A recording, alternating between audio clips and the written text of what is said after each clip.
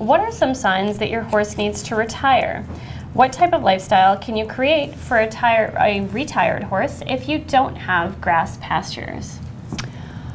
Well, I think there's no magic number. I mean, would it be great if ding, they get a number and then we know? We don't know. Some horses want to retire at, you know, 10 or 12, and then others are like 42 and I'm still going and wins the show. So you have to let them tell you sometimes, and then but then you have to listen. So if they tell you, you know what, I'm done, and it might be not as obvious as an unsoundness or a lameness that also would be easy, but it, it might just be a I don't have the drive to perform anymore, or the uh, the brilliance that I used to have is not coming through, and and that might tell you it's not time to retire, but time to back off a level. So if you were showing open or you were showing FEI or you were whatever height jumping, maybe you just step down a notch. Mm-hmm. Um, but still compete because it's not that you're going to take a horse that was active in the barn and actively showing it and going places and getting worked on every day and ridden every day and the very next day put them out on 40 acres of pasture that actually is a really bad idea for mm-hmm. so many reasons.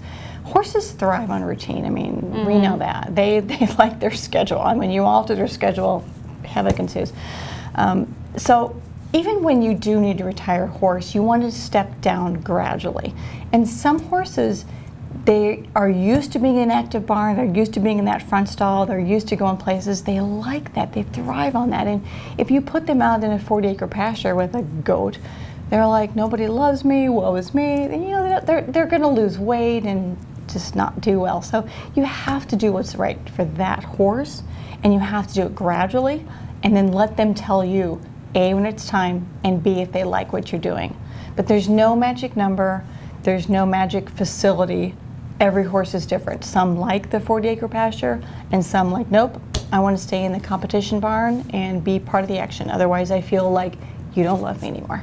So I think my 28 year old Cody Perfect is doing example. a little bit of that step down. So he was my competition horse mm-hmm. for a long time, mm-hmm. and then uh, he became a lesson and a therapeutic horse for a long, long time when he was no longer sound enough to compete, but still had right. a lot of energy and yeah. wanted the attention yeah, that only yeah. being in a summer camp program surrounded Having by 10 job. kids they painting on oh, you. Oh, that sounds fabulous. He loved it. And so now he's stepped taking the step down even more. He's moved out here to Massachusetts and he's essentially the Walmart greeter of our barn, where he is in that front stall. Yep. He hollers at everybody who comes into the barn. Everybody, all the little lesson kids, mm-hmm. they love him, and mm-hmm. you know. So it's a, it's nice that he still yeah. has that keeping him active because mm-hmm. he wants to be a part of it. Mm-hmm. And that said, I'm sure you do this. You still keep up with his preventive care. So oh, yeah. he still gets his feet done. He still gets his teeth done. Oh, he gets vaccinations. He, he gets vaccinations and he has parasite control. And you have the vet look at him at least once a year. So you still have to do all that.